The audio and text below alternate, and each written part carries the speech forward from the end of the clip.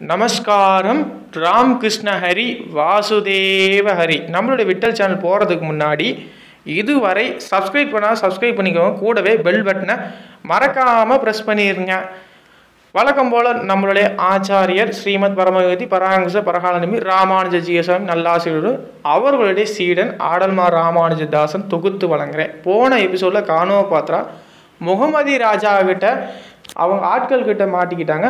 அந்த அம்மா ஒரு பர்மிஷன் கேட்டாங்க.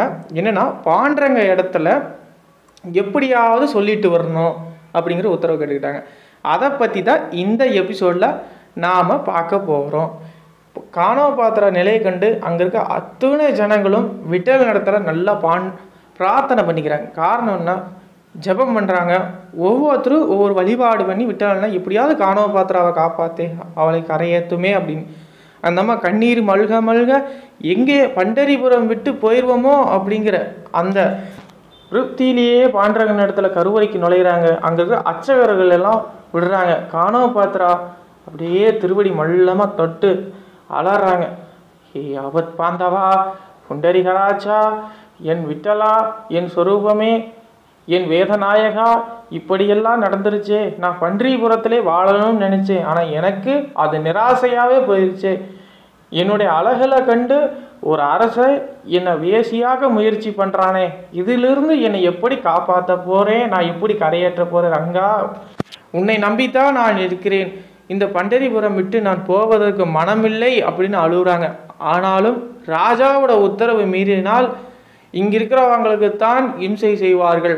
அதனால் அவர்களுக்கொசரமாக போயாக வேண்டும். அதனால் உன்னிடத்தில் நான் திருவடி பிடிக்கிறனால ரொம்ப நாள் என் வாழ்நாள் முழுக்க இருந்த பலனை நான் இந்த இடத்தில் பெற்றுக்கொள்கிறேன் அப்படின்னு அழகிறாங்க அழுத உடனே அங்கே இருக்கிறவங்களுக்கெல்லாம் ஒரே ஆச்சரியம். அங்கே இருக்கிறவங்களுக்கு ஒரே நம்பிக்கை. விட்டவன் காப்பாற்றியே தீருவான் என்ற நம்பிக்கையோடு விட்டவனை பிரார்த்தனை பண்ணிக்கிட்டே இருந்தாங்க. காணோ பாத்திரா இருந்தாலும் அவங்க திரு கெட்டிய திருவடியை பிடிச்சிக்கிட்டு அழுதுகிட்டே கெட்டியாக அழுதுகிட்டே இருக்கிறாங்க. அப்புறம் ஒரு வேசி பொண்ணாக இருந்தாலும் என்னோட கைகளால் உன் துணியை செவிக்க வச்சிட்டே பாண்டுரங்கா.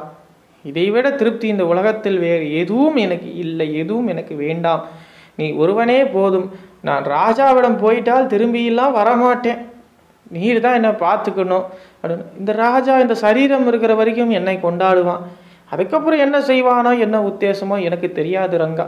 எனக்கு தெரிஞ்ச ஒரே பரமாத்மா நீ ஒருவன் தான் நீர் தான் என்னை கரையேற்றணும் அர்ஜுனனுக்கு கீதா உபதேசம் பண்ண ஞான குரு ஆயிற்றேன் அப்படின்னு தன்னுடைய அழகான கை பாண்டவனோட கன்னத்தில் வைத்து சொல்லி தன் இடத்துல பகிர்ந்து கொண்டு இருக்கிறாங்க அந்த நேரத்தில் ராஜ மனுஷர்கள் வெளியே நின்று காத்துக்கிட்டு இருக்கிறாங்க. இந்த காணோ பாத்திரா எப்போ வருவான்னு. இதை பார்த்த ருக்மணி தாயாருக்கு முடியல. காரணம் பாண்டரங்க இடத்துல போய் முறையிடுறாங்க.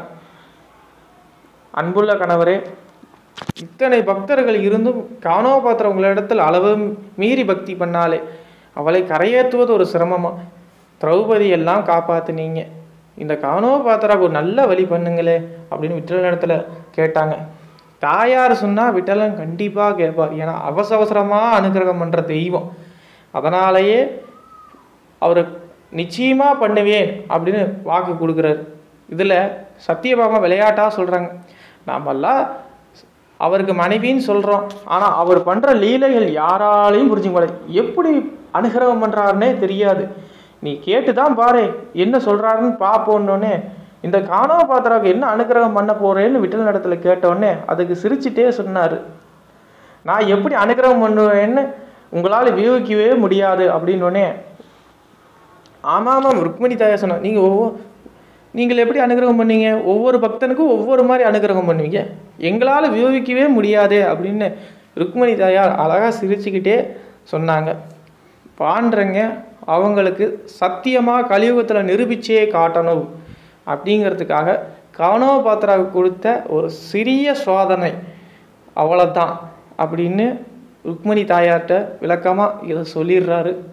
அடுத்த எபிசோடில் காணோ பாத்திர இடத்துல பாண்டரங்க காட்சி தந்து முக்தி கொடுத்தாரா இல்லையான்னு அடுத்த எபிசோடில் பார்ப்போம்.